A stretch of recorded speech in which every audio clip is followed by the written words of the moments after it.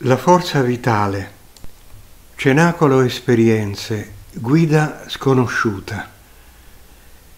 Passando attraverso il regno animale, la forza vitale acquisisce il colore dell'esperienza, prende forma.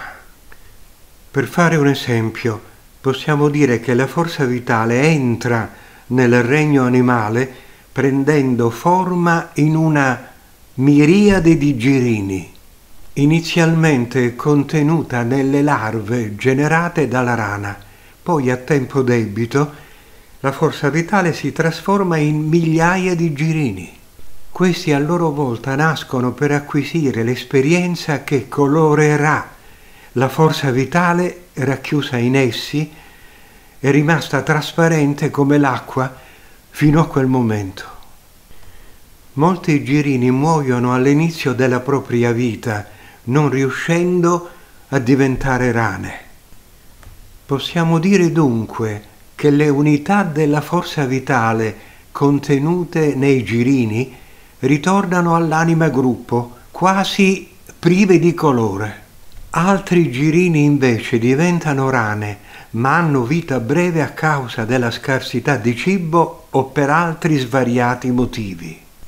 Quando le rane muoiono, le unità di forza vitale contenute nelle rane ritornano alla propria anima gruppo, avendo acquisito solo il colore di una breve esperienza di malessere o di sofferenza legata alla causa della propria morte. Altre rane vivono più a lungo a tempo debito entrano in contatto con l'uomo e imparano a temerlo come un tormentatore. Imparano a fuggire e a nascondersi, possibilmente, per evitare la sua vicinanza. Le rane muoiono difficilmente di morte naturale, ma più probabilmente per la sconsiderata crudeltà degli uomini o per l'assalto di un nemico naturale quale il serpente. Quando tali unità di forza vitale ritornano alla propria anima gruppo, apportano i colori che esprimono la sofferenza nelle sue svariate forme.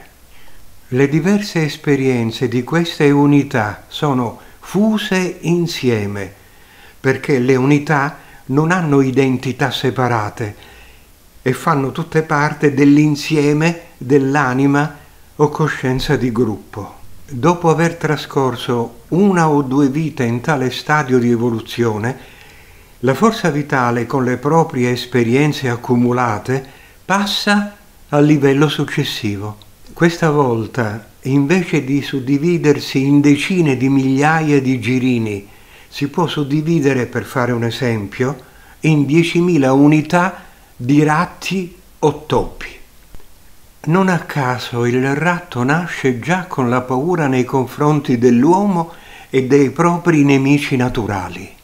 Ricordate che la forza vitale si è già colorata dell'esperienza della paura acquisita nelle forme di vita precedenti. Ora, in questa nuova forma, per una serie di vite, la paura continua a crescere nelle unità di forza vitale. All'inizio della propria esistenza il ratto impara, anche in seguito alle brutte esperienze, ad evitare in ogni modo l'essere umano.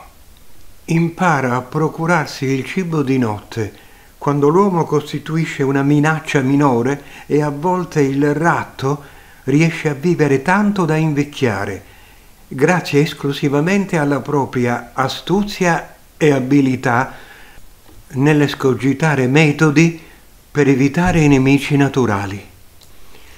Il livello di evoluzione che la forza vitale raggiunge negli animali selvatici è tanto lontano dall'umile verme che occupa i primi gradini della vita nel regno animale, quanto il verme è lontano dal mondo delle piante.